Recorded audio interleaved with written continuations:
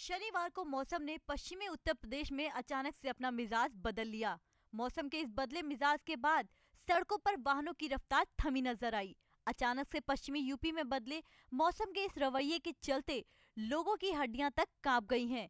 सबसे तेज रफ्तार वाले यमुना एक्सप्रेस वे पर कोहरे के कारण वाहनों की रफ्तार धीमी हो गई है।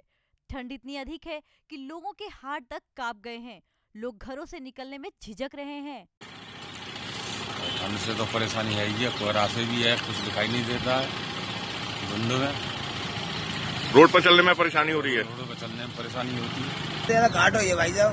क्या घाटा है? सब घाटो खेती में तो घाटो है काम धंधे में तो घाटो काम धंधे ना मिल रही।